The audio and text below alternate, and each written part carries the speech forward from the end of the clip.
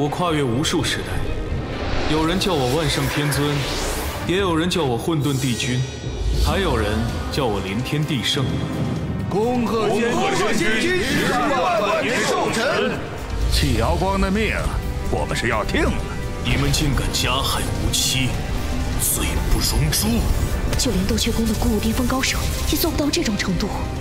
灵山十无后裔吴墨灵拜见主人。